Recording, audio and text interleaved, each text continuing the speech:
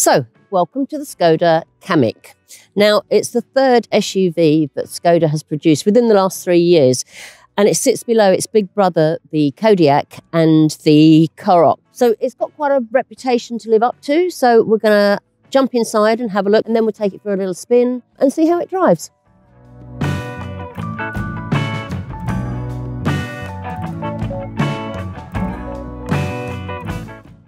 Once you're inside, and actually it's very, very nice. All this material is really nice, soft touch up here. There are some cheaper, harder plastics down further down the, the car, but that's to be expected. And this nice inlay, it looks really, really plush. It's not like the Skoda Kodiaq or the Karoq. It's much more like the new Scala. Um, the layout is very simple and very easy on the eye. Now they've done away with the analog dials and they've gone for the digital iCockpit. You also get this 9.2 inch touchscreen, which is lovely. It's really easy to use. The graphics are very clear. And it also has like a Alexa, Siri sort of thing. Her name's Laura. So, okay, Laura. How can I help? There you go. And she'll be able to tell you whatever you need to know. Then moving further down, you've got your dual climate control. It's really easy to use. And if you just press this button here, it brings it up on the menu so that you've got where you want your heat going to and your fan thing. It's a very easy system. Now, there are two things on this system that I absolutely love. That is heated steering wheel and heated seats. This is the SEL model, uh, and it's a 1.6 TDI, and it has a six-speed gearbox, which works very well. It also has a nice traditional handbrake, which is great. I love a traditional handbrake. There's some other really nice features. The seats are very, very comfortable. It has this nice little bit of Alcantara on the on the bolstering here on the side and the and the seat bolster, which just gives it a little bit more of a premium feel, really.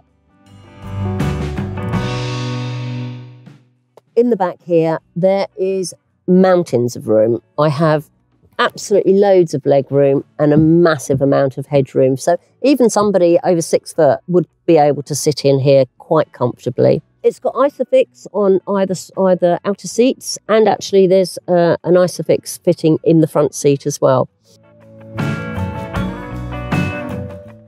So moving on into the boot, and you can see it's a decent size. It's 400 litres. There's quite a big load lip here, but you can get a variable flooring for this, which will bring this up to this level so you won't have this dip. There's also a really handy little torch here that just pops out, and there's a 12 volt socket here. And the seats are obviously easy to put down, just push this lever and fold them flat.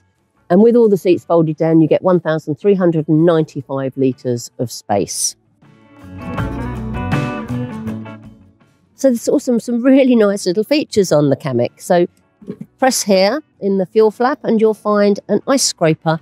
Also, there's some nice little door protectors which come out automatically here when you're opening the door so you don't bash the sides of your doors onto other people or your kids when they're getting out in tight spaces. In here, there's a secret little hole for your umbrella. And under the bonnet, you have a really nifty little device so that you don't spill all your fluid when you're topping up your windscreen wiper washers.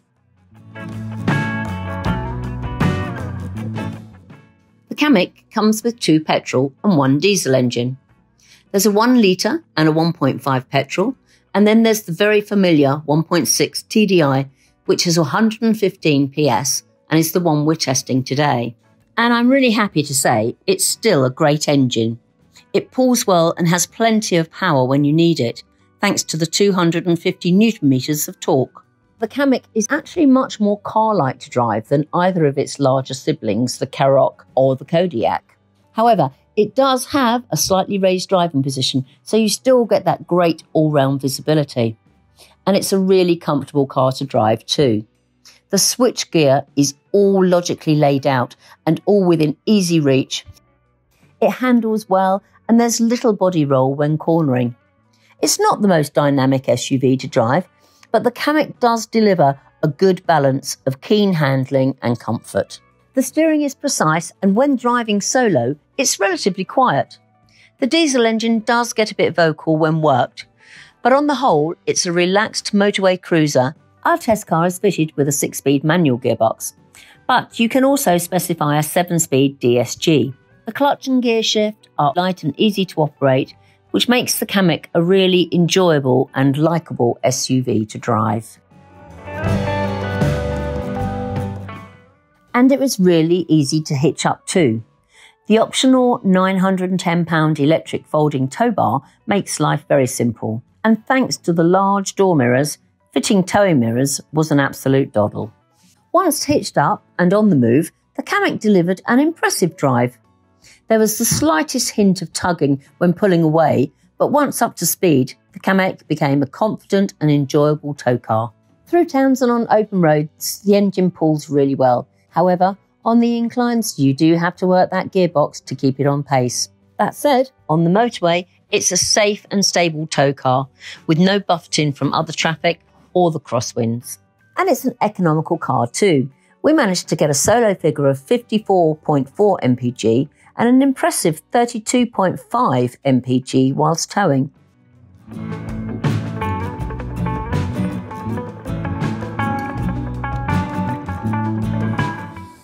Well, I've done a fair few miles in the Kamiq now, and I can happy to say it's a really nice car to drive. It's very economical, that's got lots of nice little touches, and it's a great tow car too.